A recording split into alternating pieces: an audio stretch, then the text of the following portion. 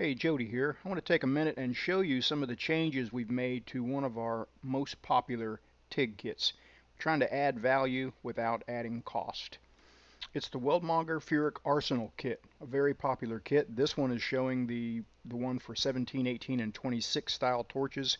We also have them for 920 style torches. Let's take a quick look at the old version. It's Furick cups, starting with the 8 and going all the way up to the BBW, the 8, 10 to 12 ceramic, and the BBW. But what we've done is we've added a 4 through 8 standard ceramic cup to make this kit even more useful for most every situation. The large Furick cups are, are great for stainless, Inconel, titanium, but sometimes you don't need all that gas and you don't want to use all that gas if it's a Sunday afternoon and the welding stores are closed. So we, we got you covered here going all the way down to a number 4 cup. This 332nd Furick gas lens works with all these cups. So let's take a look at swapping out the normal hardware, the stuff that comes with most torches, with the Furick Arsenal kit hardware. One benefit that you notice right away is it just shrinks the overall size of the torch. Just kind of makes it more maneuverable, makes it be able to reach into tighter spots. And the clear cup that comes with it, the number 8 cup, really lights things up. I started using clear cups strictly to film. I was kind of skeptical, but I, I saw right away they really helped me see better. The number 8 clear cup is good for AC and DC. This is a little plate with a bead on plate here with I've, I've scribed lines about an eighth of an inch apart just so you can see the detail. See how well this cup lights things up. It really helps.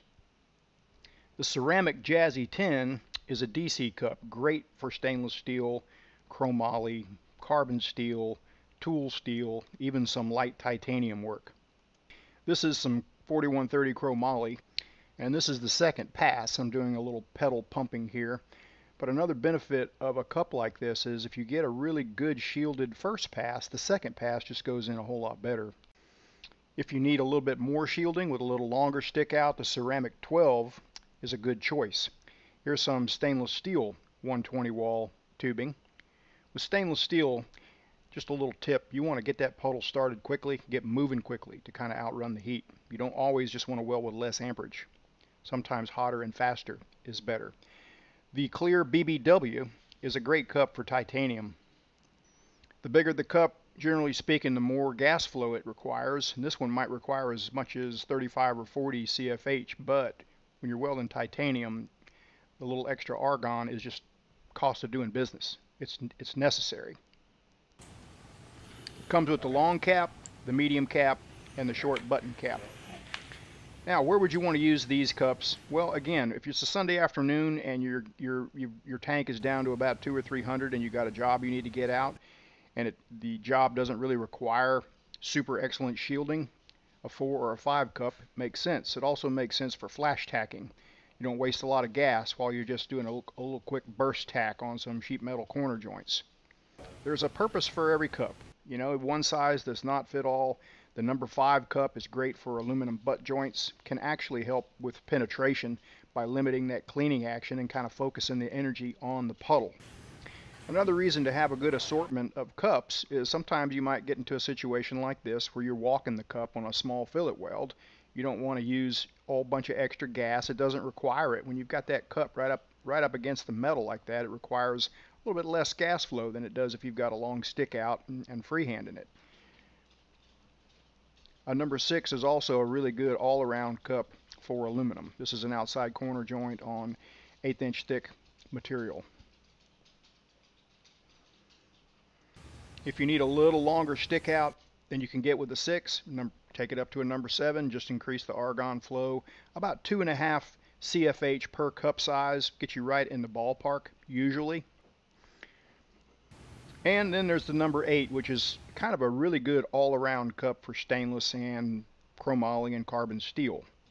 This little demonstration really shows the difference between the standard hardware that comes with a TIG torch as opposed to a stubby gas lens. I'm using the same long stick out here. It's a half inch stick out. I'm going to use the same stick out on all these cups. This is sped up 4x, but you can see it's just kind of squiggly.